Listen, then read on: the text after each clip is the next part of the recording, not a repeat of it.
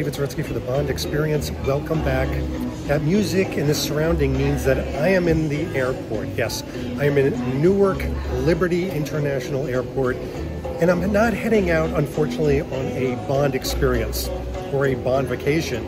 I'm heading out on a business trip, but that doesn't mean that I can't have Bond fun. In fact, this video is about having Bond experiences even when you're working, even when you're on a business trip. And I'm going to show you how to insert these moments, these tiny little moments that create experiences in the work day travel that we often have. In fact, if you take a look, hold on, I've got my Bond backpack, I've got my carry-on luggage, I've got my Bond watch on and a whole accoutrements of things, but you're gonna come and explore and we're gonna be going over how do you be like Bond on a business trip.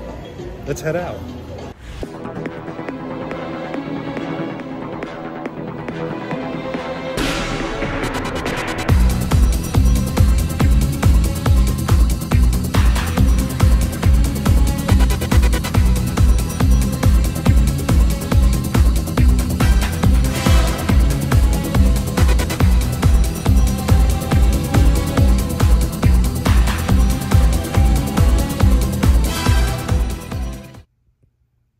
Okay, so when I lay down in bed and I look up at the ceiling, this is what it says. Good news, it's almost time to drink coffee again. So that's what I'm gonna wake up to tomorrow. And then everything's looking up. Very positive messages. Mostly the coffee.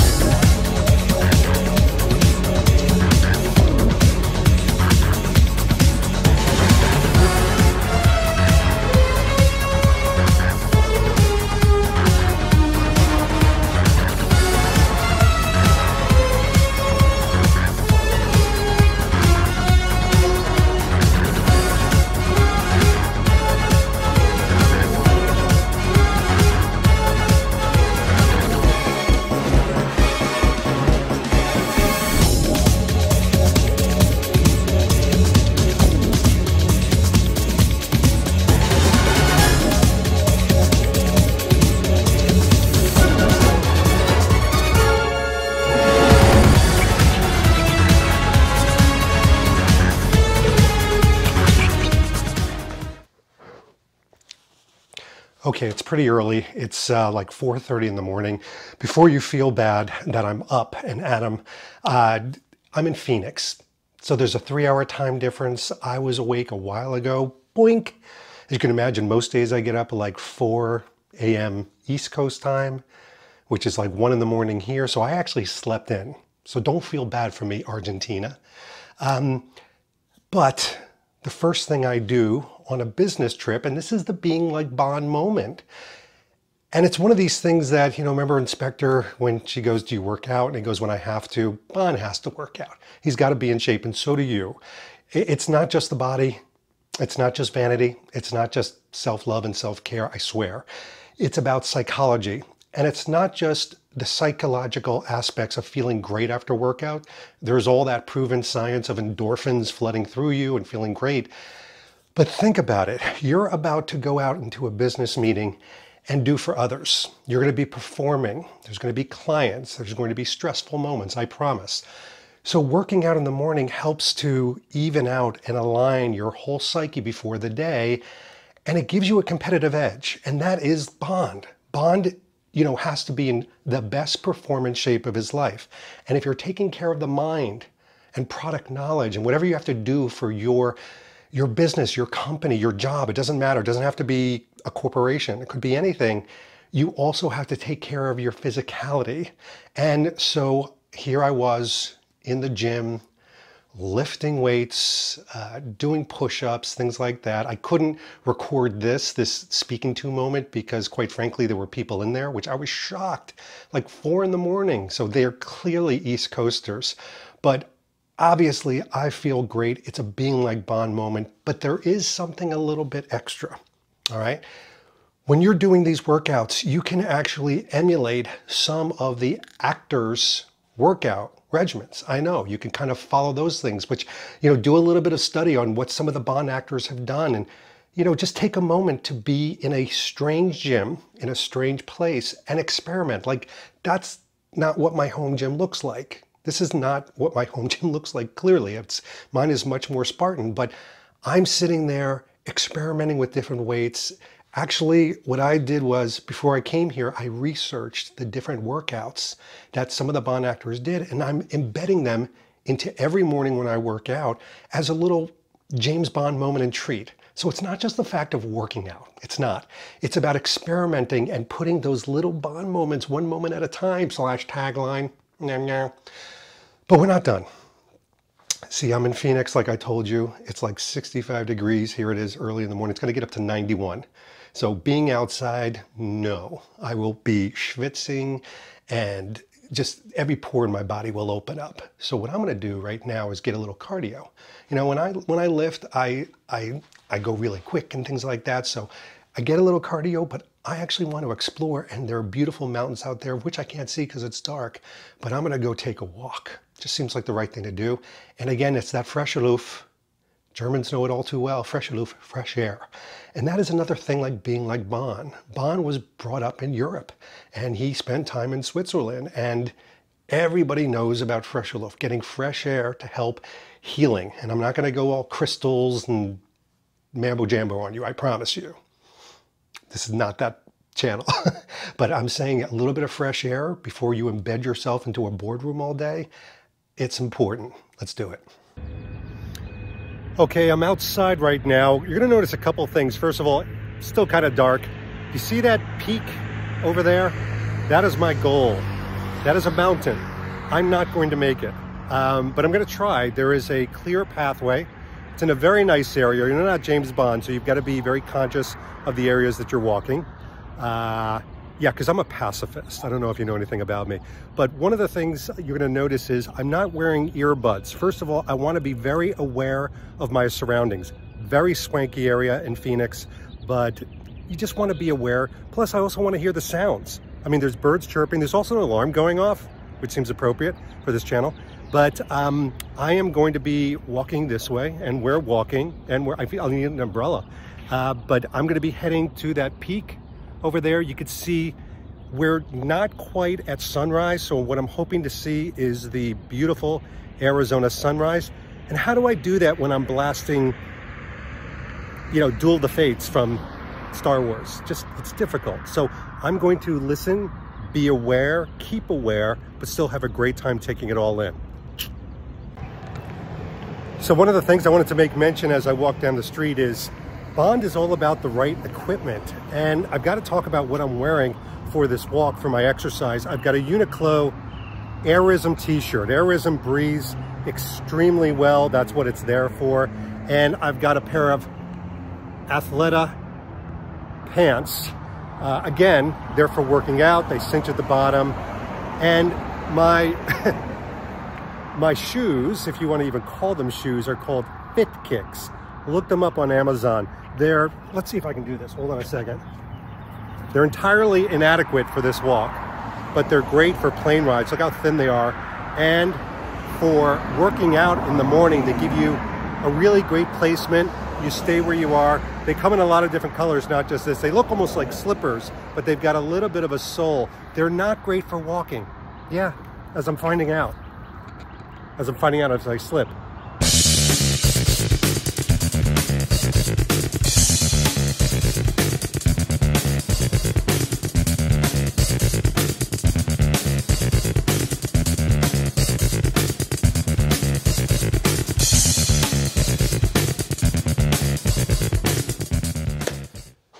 Okay, cardiovascular done. Absolutely beautiful out there. The sky, the wind, the views, amazing. I feel great. You can see I'm alive. One cup of coffee, that's all I've had.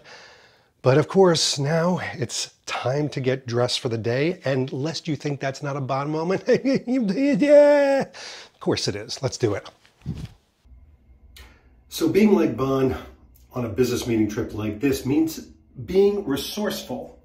Oh, look at the fish. Neat. Uh, so one of the things is I've got a linen jacket.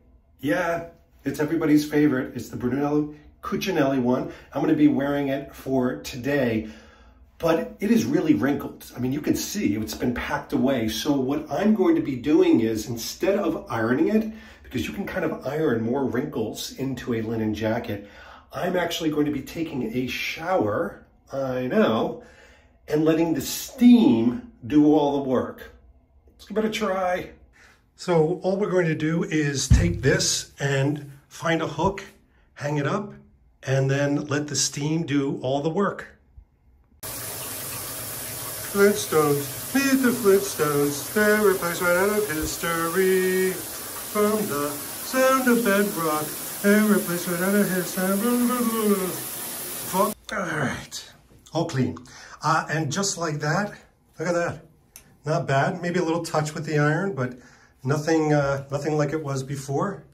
Thanks to good old fashioned steam. Now that's good James Bond resourcefulness.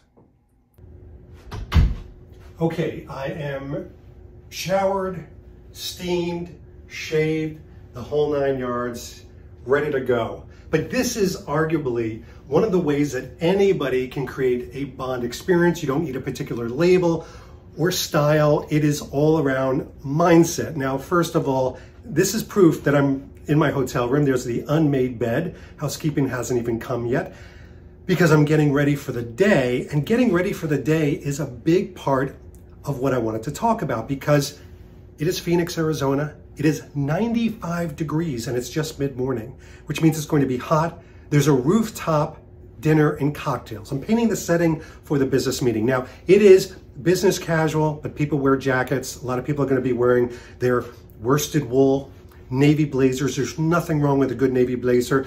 They're some of my favorite people but not in this heat. So what I did was I went for seersucker. Now look up and close, folks. I'm showing you the details of this pattern because this, let me pull back, is a seersucker suit. Matching pants, matching jacket. It's half structured, half not. And as you can tell from the label, it's Orlebar Brown. Orlebar Brown picked this up uh, just at the end of last year in London, part of their new line, and I thought, this is it. This is when I wear this seersucker suit. Fits great, and I mean, it stretches. I'll be sitting down for a long time, hearing people, then getting up, shaking hands, having a cocktail. I've paired it, don't adjust your color. This is a pink Sunspel Riviera Polo. I know, sometimes sales get the best of me. And this is a pink one, but it's perfect because it breaks up. I was going to wear a white Sunspel polo. It's a little too stark.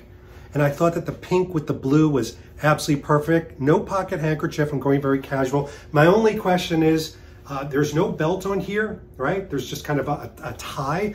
Do I tuck it in or do I not tuck it in? I probably will tuck it in with a little bit of a bloop fold, and then I'll be set. I can hold my phone in here without it looking too encumbering, but later on, if it gets too hot around cocktail hour, they say it's going to go casual. So I can take this off, and I've got a great Riviera Polo. It breathes extremely well, and I've got these great navy seersucker pants on. Hold, hold on a second. I almost forgot the most important part. My Crockett and Jones 60th anniversary Hamiltons. Why am I going over all this? Because this is part of being Bond. And you have to consciously think about what is your environment? What are the temperatures that you're going to be, let's just face it, Arizona, subjected to in heat where you don't want to be like schwitzing and just, you know, melting in the sun. You want to be that person that looks cool, belonging, and still buttoned up that seersucker is going to do it. This Riviera Polo breathes really well.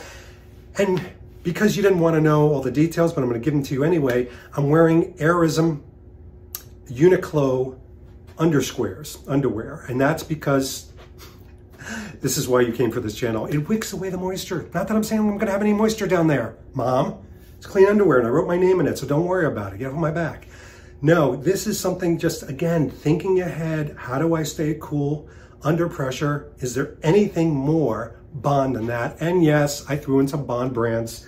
I've got the Orlebar Brown, which is clearly a Bond brand. I've got the Riviera Polo, clearly a Bond brand. I've got the Crockett and Jones, again, a Bond brand.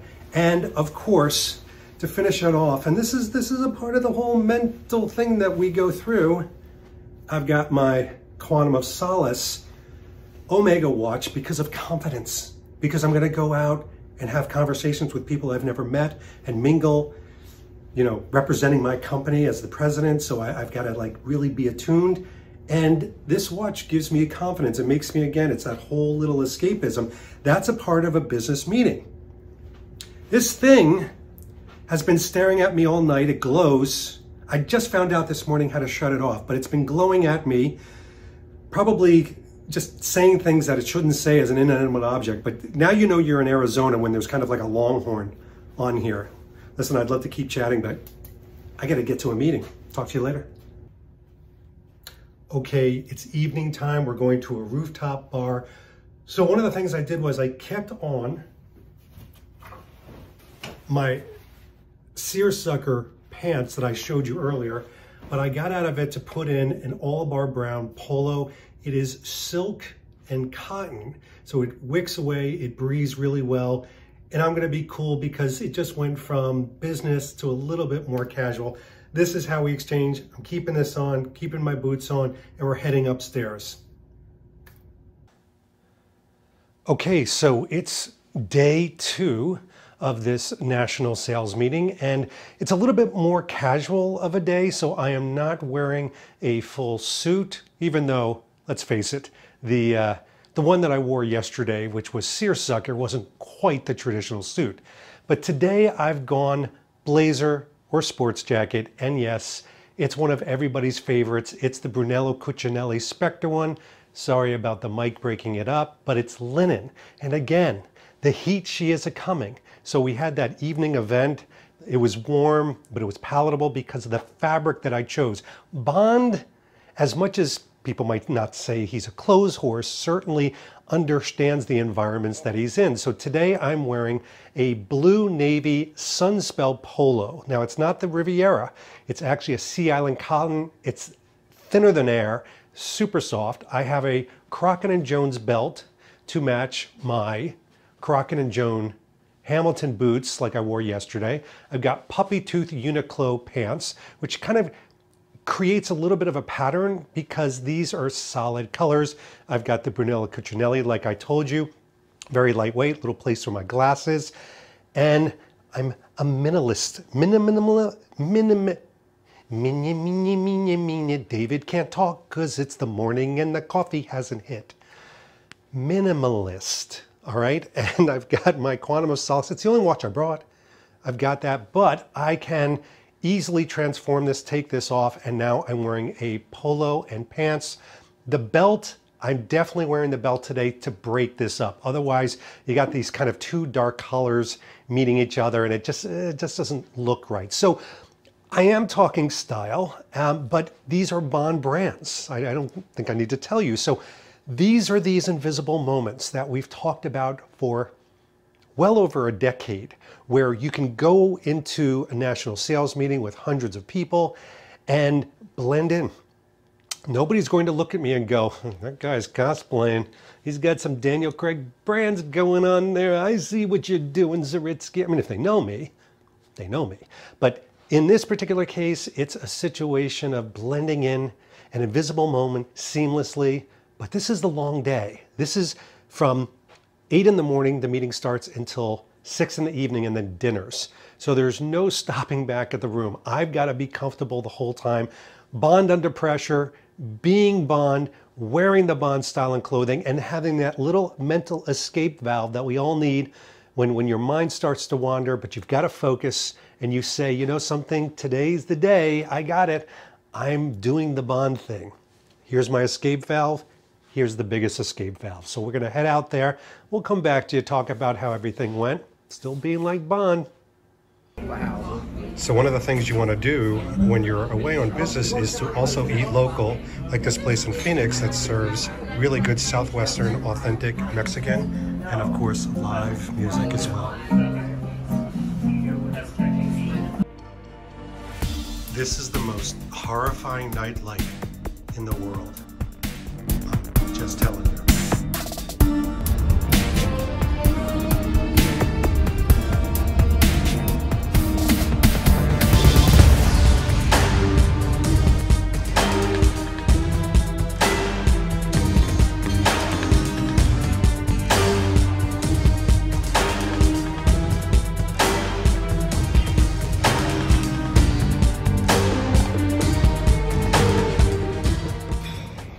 Okay, now I'm on a totally different trip. I'm actually heading to Chicago right now. I'm in the United Club in Newark Airport.